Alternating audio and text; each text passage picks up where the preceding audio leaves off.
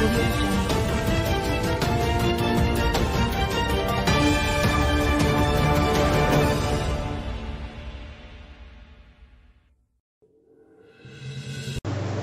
आप देख रहे हैं न्यूज़ नाइन भारत और मैं हूँ आपके साथ अशोक चौहान। देश और दुनिया की तमाम खबरों पर आइए डालते हैं एक नज़र। वाराणसी कैंट थाना क्षेत्र के महावीर मंदिर रोड, अर्दली बाज़ार में सोमवार को स्वदेशी शॉपी, अतुल्य भारत शुद्ध प्राकृतिक एवं ऑर्गेनिक उत्पाद का भव्य शुभारंभ हुआ।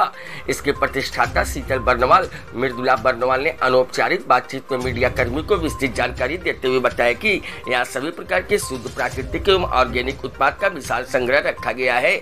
आज की भागम भाग भरी जीवन शैली में लोगों को खाने पीने का यहाँ तक की शुद्ध पौष्टिक आहार नहीं मिल पाता है, जिसके कारण बच्चों, बुज़ुर्गों, महिलाओं महिलाओं में असाध्य रोगों की बढ़ोतरी हो रही है।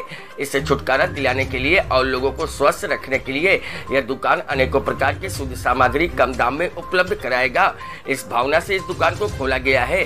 खास बात यह है कि यहाँ जो भी खाद्य सामग्री, जैसे दाल, आटा, मसाला, तेल व अन्य सामान मिलेगी, वह बिना किसी केमिकल यूरिया के उत्पादित होगी। सिर्फ़ गोबर और गौमूत्र से ही उत्पादन किया गया खाद्य सामग्री है, जो स्वास्थ्य के लिए बहुत ही लाभकारी है। भव्य स्वदेशी सौपी अतुल्य भारत शुद्ध प्राकृतिक एवं ऑर्गेनिक उत्पाद स्टोरों का शुभारंभ। विशिष्ट अतिथि डॉक्टर अच्युत प्रभु जी इसकान मंदिर स्वामी कन्हैया महाराज जी, शनि उपासक ने किया।